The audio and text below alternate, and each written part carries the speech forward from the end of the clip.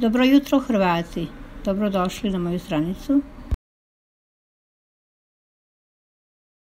Mila Kano, si nam slavna, mila si nam ti jedina, mila kuda si nam ravna, mila kuda si planina.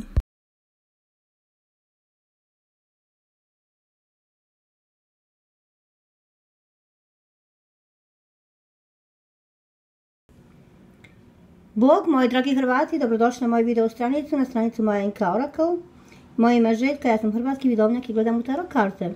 A danas je četvrtak, 9. srpanj 2020. godine. Dobrodošli.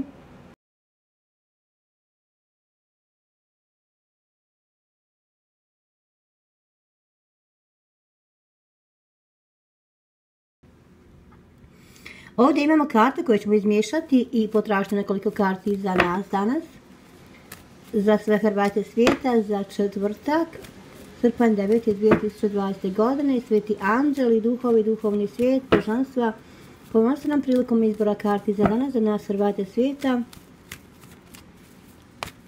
Ok, na radnom mjestu danas imamo šest novčića.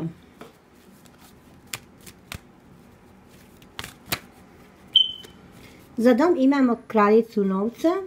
Neplanirano imamo um, početnika. Naša uloga je osam štapova još jedna karta nam treba da vidimo koja, će karta izići.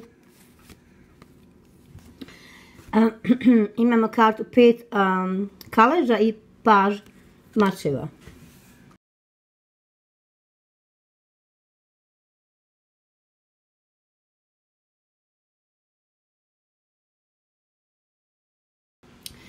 Dragi moji, danas na radnom mjestu možemo očekivati šest novčića, a to znači podršku i pomoć na radnom mjestu.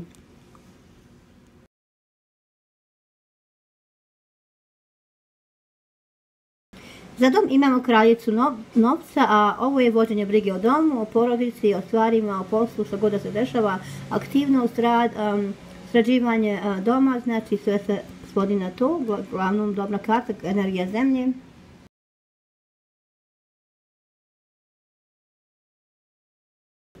Neplanirano iznenada imamo početnika, broj nula.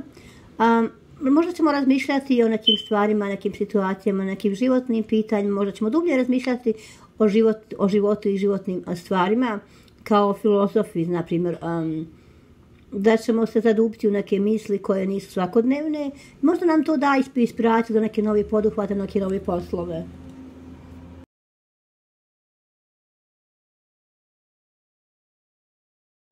Dragi moji, naša uloga ili naša obaveza danas je osam štapova. Ova karta predstavlja vijesti koje dolaze brzo, iznenada dobre vijesti, znači, ali nas iznenade neke situacije, neke vijesti, neke moramo reagovati na brzinu, znači, jer ova energija je danas prisutna, dobra, za nas, povoljna za nas, znači ako se radi o nekom poslu ili nekim stvarima, nekoj pomoći, kao što vidimo ovdje, da trebamo, znači, da danas to radimo, jer sutra dan možda ova energija će izići iz našeg e, prostora.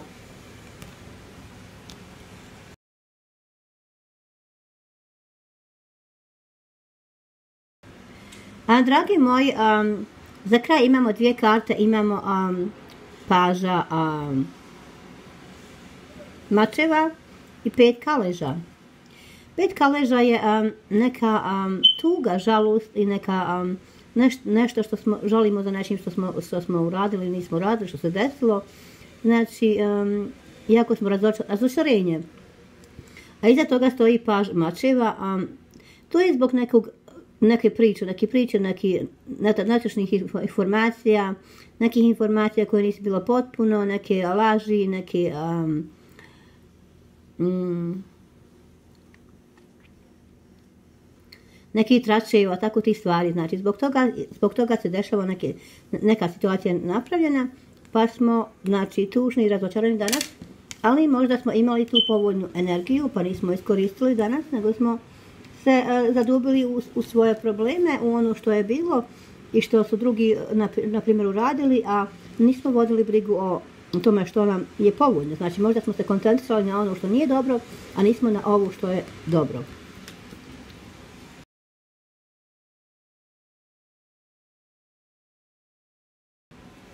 Dragi moji, prije nego što pogledamo kartu za ljubav danas, za nas, kakav utjecaj ima na naš život danas ta energija, karta ljubavi, pogledat ćemo ponovo ove karte ispred nas.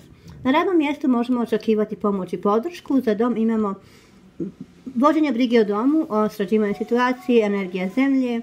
Naša, neplanirano imamo novi, novi početak, znači razmišljanje o nekim većim stvarima, o filozofiranje, a razmišljanje o životu i dobivanje ideja i možda te ideje možemo koristiti na, neke naše stvari, znači za našu dobrobit, za našu dobrobit kad imamo te ideje. A ova karta predstavlja iznenadne vijesti, dobre vijesti, ako ih mi možda koristimo, ako te vijesti iznenadne, znači ako se koncentrisimo na ove iznenadne vijesti, na dobre stvari i radimo sa tim, znači nećemo imati ove uvijek ove pet kaleža, znači mi smo se ovdje, imamo na kraju dana pet kaleža zbog nekih tračeva i priča, mi smo se koncentrisali na tračeve i priče, a nismo na, na dobre vijesti, na stvari koje mogu da nam poprave život i što nas interesuje. Znači ne moramo da se da, da, da razmišljamo mnogo samo o lošim ljudima i lošim stvarima, možemo ih odvojiti i koncentrisati se na, na dobre vijesti i raditi svoj posao.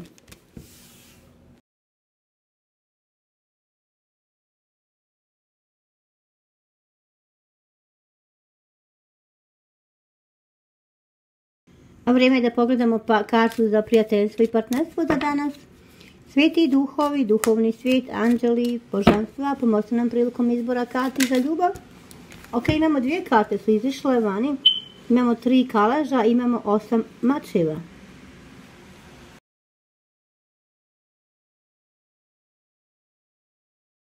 Dragi moji, danas za ljubav imamo dvije karte. A te karte su tri kaleža i osam mačeva ili strelica. Znači, danas je dan za druženje, ljubav, prijateljstvo, partnerstvo, za uživanje, za nove kontakte, za stare kontakte, obnavljanje. A ova karta izdaje naša, naša misao, naša, naša misli na neke stvari, na probleme. Znači, ako se mi ne koncentrišemo na te stvari, znači, te stvari nisu tu prisutne. Znači, prisutne su ove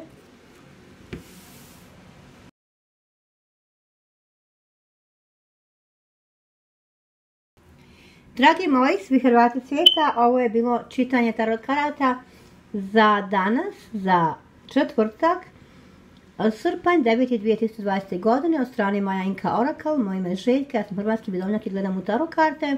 Ja vam se mnogo zahvaljujem na podršci, na subscribing, liking i sharing. Ako to niste uradili, uradite sada. Subscribe, like, share, hvala.